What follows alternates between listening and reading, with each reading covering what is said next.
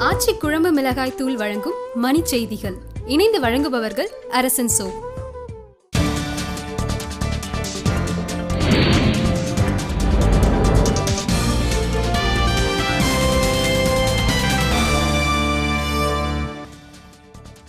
இலங்கை போர்க்குற்றம் தொடர்பான அமெரிக்க தீர்மானத்தை ஆதரிக்க இந்தியா முடிவெடுத்திருப்பதாக தகவல்.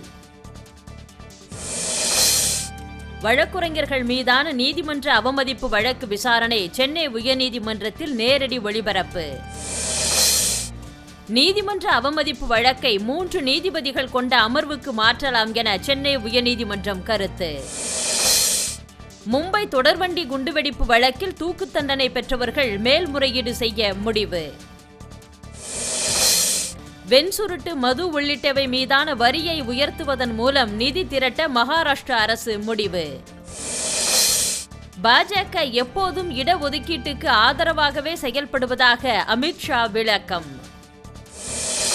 உயர்நீதிமன்ற தடையை மீறி கட்டடம் கட்டுவோரிடம் உதகை நகர்மன்ற உறுப்பினர்கள் பணம் கேட்டு மிரட்டுவதாக புகார்.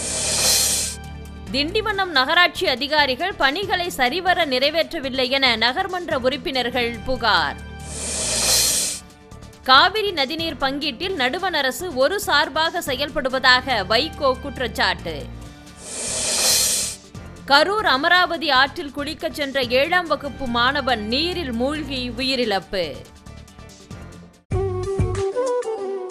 ஆச்சி குழம்பு மிளகாய் தூள் வழங்கிய மணி செய்திகள்.